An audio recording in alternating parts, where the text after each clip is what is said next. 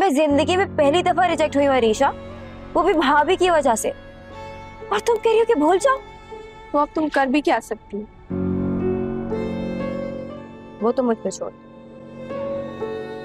तो मुझे ये बताओ कि सारे रूमी भाभी से शादी करना चाहते और क्या तुम्हारे खाला खालू मान जाएँगे?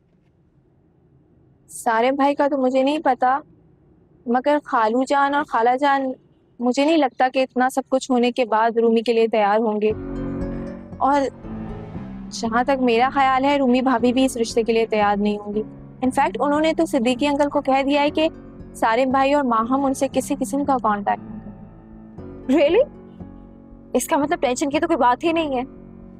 और जहाँ तक रहे सारे तो थोड़ी देर बाद मैं उन्हें खुद ही कॉल कर लूँगी। ओके जैसे तुम्हें ठीक लगे। कुछ लोगी, चाय और कॉफ़ी। कॉफ़ी। सही है, मैं बोल कर आती हूँ।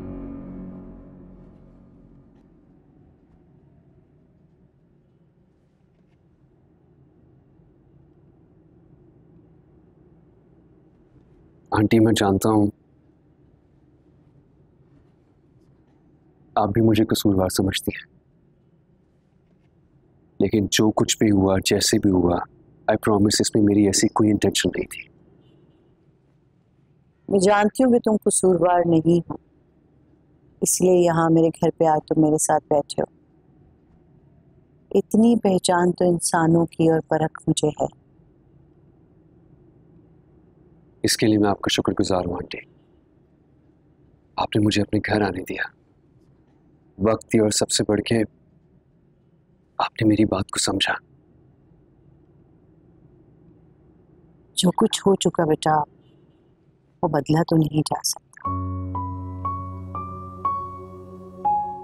लेकिन इस गलत फहमी की वजह से रूमी बहुत अजियत में आप बिल्कुल ठीक कह रही हैं आंटी। और इसके लिए मैं बहुत शर्मिंदा हूँ। मैं कभी ख्वाब में भी नहीं सोच सकता कि मेरी वजह से रूमी को कोई तकलीफ़ पहुँचे किसी किस्म का कोई नुकसान पहुँचे। मैं रूमी की माँ हूँ। मुझसे ज़्यादा उसे और कोई नहीं जानता। सैरिश ने जितने भी इल्ज़ाम उस पर लगाए हैं, जाने अनजाने में जो कुछ हुआ है मेरी रूमी के साथ। उसकी वजह तुम बने हो।